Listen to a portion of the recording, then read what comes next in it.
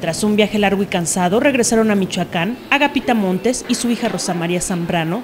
Salieron a las 9 de la noche, hora de Seattle, Washington.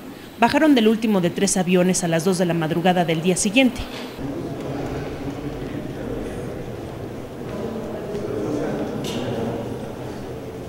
El equipo de Cuasar TV estuvo en el aeropuerto para atestiguar la llegada de esta atribulada madre que pocas veces salía de su comunidad y que tuvo que ir a otro país a reconocer y reclamar el cuerpo de su hijo. ¿Cómo fue para usted estos días en Estados Unidos?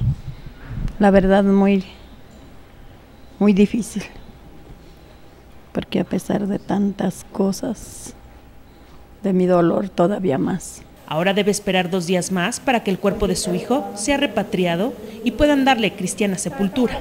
Lo vamos a enterrar en, allá en un barriecito que se llama Pómaro, Michoacán, municipio de Aquila.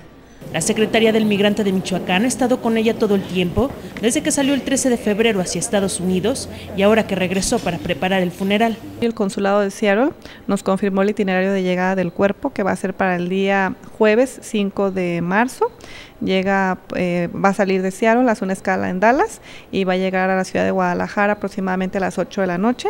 Agapita y su hija Rosa María se reunirán este día con los tres hermanos de Antonio, que le esperan en Aquila, y todos juntos, familiares y amigos, se unirán al adiós de un migrante y a la exigencia de que la ley castigue a los policías responsables de su muerte. Con información de Liceo Caballero Informa, Guasar TV.